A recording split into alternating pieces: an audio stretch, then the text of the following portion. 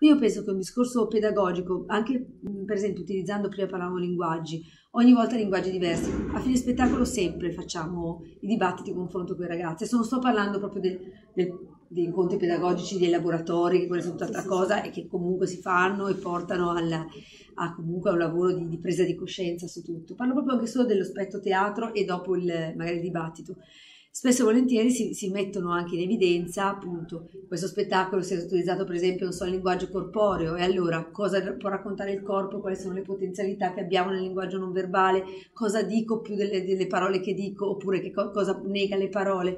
In altro spettacolo magari come la musica può lavorare sulle emozioni sul trasformare un'immagine sul trasformare una, una relazione.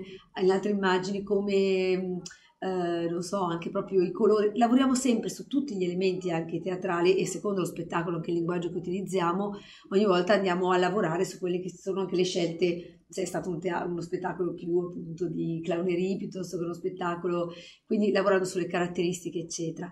E eh, il discorso pedagogico, quindi al di là di andare poi magari a sviscerare quello che c'è dietro, io penso che sia proprio già insito nello spettacolo, nel senso che il, quello che viene raccontato, come viene raccontato, i, appunto i temi che magari senza bisogno della spiegazione che come è a scuola, ma ti arrivano da un'altra parte, ehm, lo, poi lo verifichi, a volte pensi che non arrivi così tanto quanto arriva, perché a volte ti arrivano le letterine piuttosto che le risposte, piuttosto che chiedi e capisci che c'è una ricchezza in quello che si dice sempre che il teatro si fa in treno, nel senso ci siamo noi, ci, siamo, ci sono loro, ma quello che si crea in mezzo e ogni volta è diverso. Questo incontro magico apre altre altre possibilità e altri...